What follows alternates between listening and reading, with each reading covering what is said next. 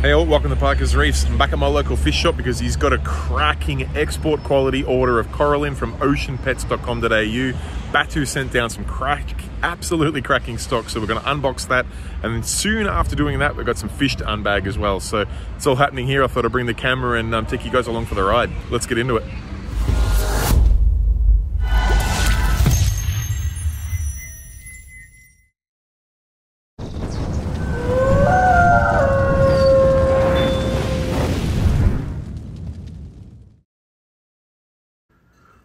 Let's start off with the corals first, and we've got four boxes from the supplier oceanpets.com.au. This is a relatively new supplier on the Australian market, and they've sent down uh, four boxes, which doesn't sound like a lot, but when you're talking uh, around 40 pieces per box in a store that's already quite full of coral, it's a lot of stuff to unpack. So uh, let's get into it.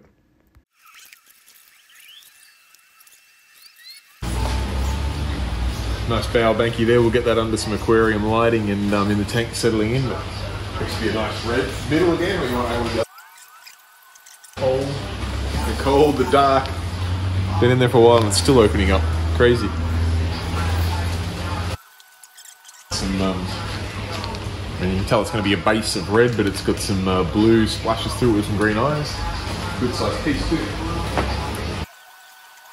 Hard to see the colours when they're all closed up, but um, we'll get them in zinc. That's definitely a toxic green stem with a peachish tip.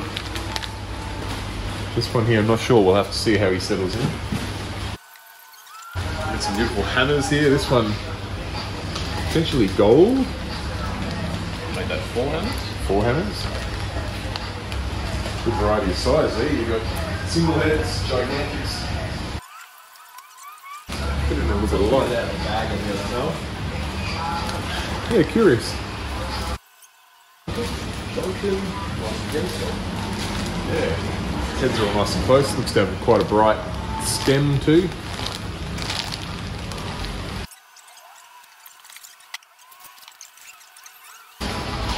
Keen to see how this one shows up its colours once under the tank lights. It's very nice. Got a big uh, Lobophyllia here with some uh, varied colours through it. Looks like a tealy green mouth, gold rim, red body, some more Lobos, more Lobos. Don't drop them. That's the last thing I want to do when they've travelled this far. Some nice Lobos there, orange, green. So really tested under uh, sunlight, but you can see uh, green growth rim, green eyes, blue eyes, and a um, hopefully a reddish base. Um, nice size piece too. You can see my hand. I got pretty big hands, and it's um, not quite palm size. Good size piece. Oh, that one's bright. Red Scully. Striped Scully. Oh, there's a nice um you see that one there is going to be got a bit of carbon sitting on the flesh. Hopefully that'll come off okay. But um, a nice uh, a bleeding apple there with some nice markings, and uh, looks like this one could be a bit of a war paint with a red and blue. Very nice scullies. For a Lobo. It's looking blue, isn't it? It's a weird off colour, yeah. Yeah, definitely looks to be a um, somewhat strange coloration. We'll get him under the um, tank lights and settle in. It's uh, going to be a red or an orange coloured Monty. Two pieces there, one slightly smaller than the other. yeah. So this one here has obviously been collected. It's had some form of rock boring muscle or something. Yeah, right. Yeah, yeah. And they've removed it all. It's good. It's good when a wholesaler checks their corals for Absolutely. things that are undesirable and removes them for you. It's a nice piece, so it's a good thing they saved it. Might go through this one under the kiss. Get some colour out of it. Oh yeah. Just a little. Got a lot of colour just in the um in the ambient light in the room. Yeah, a little bit of colour in him.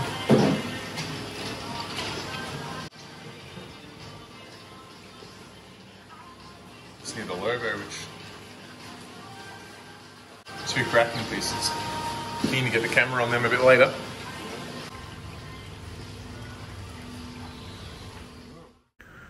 All right, let's have a look at some of these other pieces floating in the bag here. We've got um, some Blasto, some Duncan. Actually, you can see the head's Duncan there. This Blasto is cool. It's got um, some really large heads once it uh, settles in. There's this chalice over here, which is a really strange shape. This piece here, but it's got a really cool base color. Mm, some big pieces in there to start things off.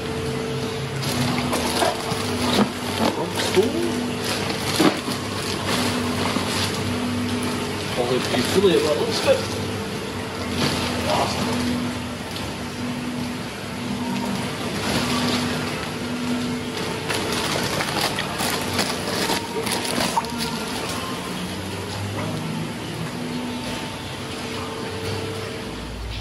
Well, blue tip, toxic green stem frog spawn. Yeah, nice. Let him settle in. Lucky dip time. was mainly hammers and torches and frog spawn, but there was a bit of everything.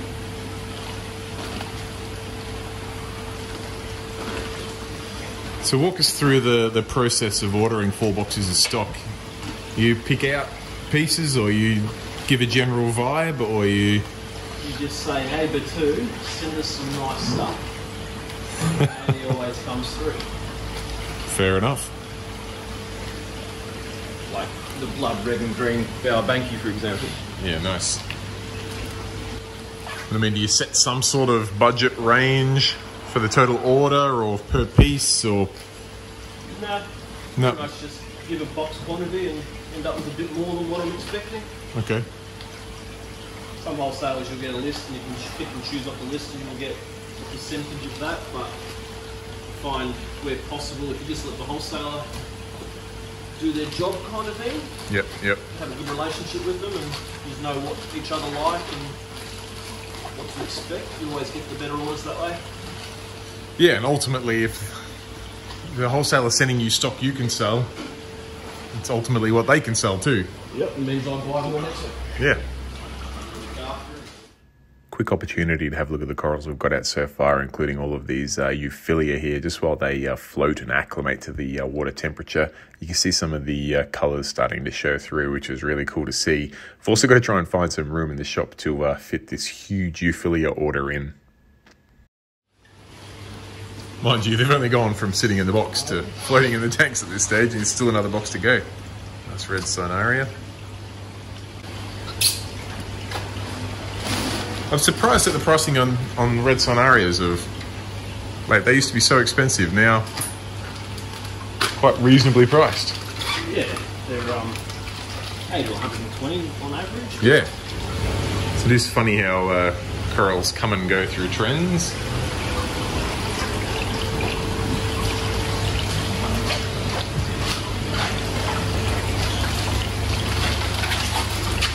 Is that a bower?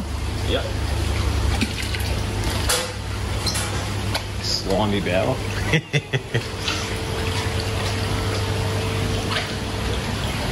Very nice dark, rich red compared to the orange behind it. Yeah, nice.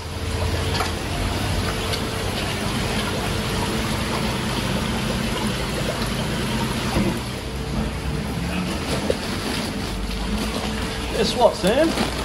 Hammers? Torches? It's another box of Euphyllia.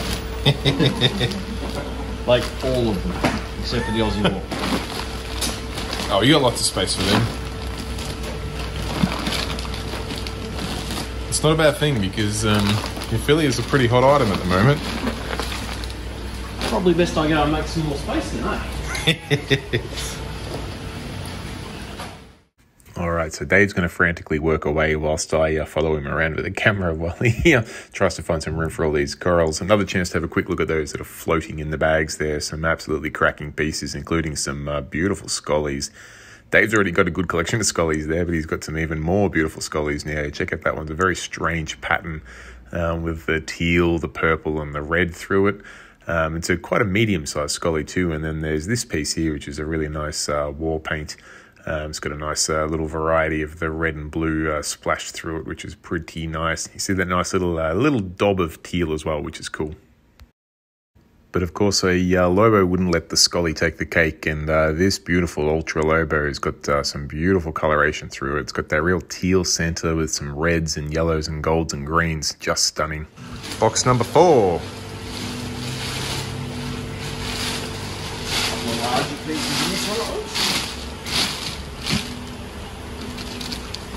Still a heap of pieces. 24. 24, yep, okay. Very large orange hammer. Wow. There were also some inverts in the order, including some starfish and a few beautiful uh, bubble tip anemones. There's these uh, blue and green type ones, and this uh, stunning little rose bubble tip, which um, I say little, it only looks little because it's uh, closed up at the moment, but soon enough, uh, you can tell by the, the size of the foot, it's going to be an absolute monster, and the colors on it are so, so vibrant. So I'm really keen to uh, come back in a day or two, check out the color there in the bag, and just see how big and beautiful he gets.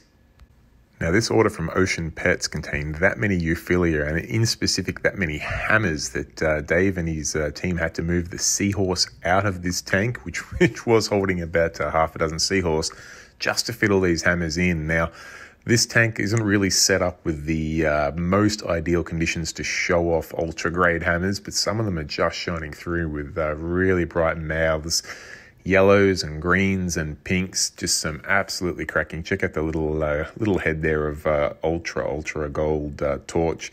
There's a few of them in there. Just some um, a really good example of um, different uh, LPS colors that you can achieve with uh, whether it be torches or hammers. Just um, a really stunning collection.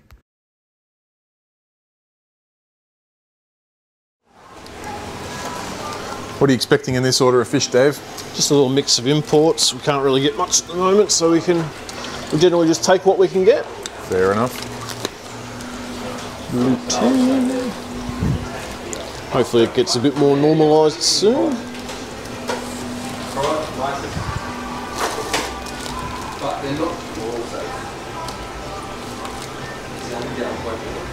What's that guy? It is an adult chevron tang. Yeah, right. Nowhere near as pretty as their juvenile colours, but what do you do? Can't all be cute forever. Yeah, but when you're worth good money, you should. You at least want to. You at least want to. You put up with the um, the less cute phase when it's um. Little tiny golden angel. Golden angel, yeah, nice. I'll get some pictures of him once he's out. Boy. Well, that's pretty nice fish for a little filler order. Yeah.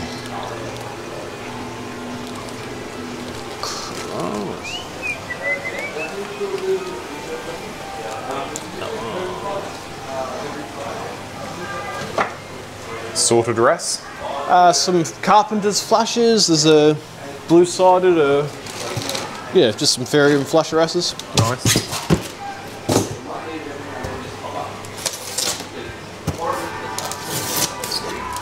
I never get these anthias right. Are they Cooper's anthias? Dispar. They're dispar. I think dispar always trick me. So they're the purpley colour, whereas the um, Coopers are more of that red colour.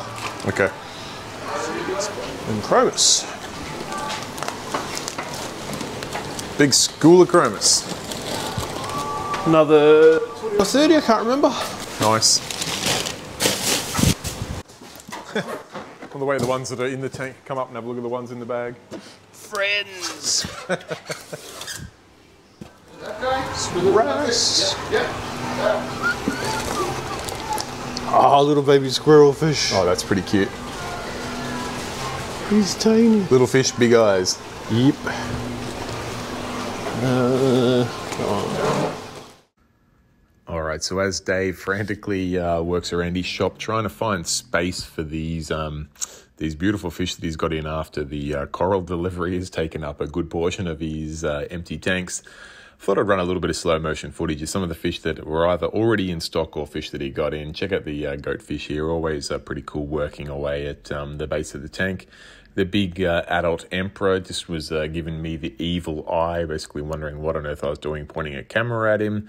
And uh, this next hogfish that's about to come up here, this one here, it's a uh, Cuban hogfish, I'm pretty sure. a big unit just full of attitude, but um, a really cool addition to the uh, right tanks. So I'm hoping he finds a home pretty soon because I'd love to see him uh, just in a tank thriving. One here that uh, is always really loved all around the world, that's the Australian tuskfish, um, Harlequin tuskfish, I should say. Um, just such striking colours and uh, real little puppy dogs too. How's the way the hawkfish just like to sit down on the base of the tank and uh, roll their eyes around at everything you're doing with uh, such judgment, uh, such cool little dudes. And of course, this uh, next fish here, the um, Australian Moorish Idol, such a um, stunning, stunning fish. It's a shame they're not a little bit more reef safe. I know you can with a bit of caution. I've tried them before and it went well for a while, but ended a little bit in um, its tears.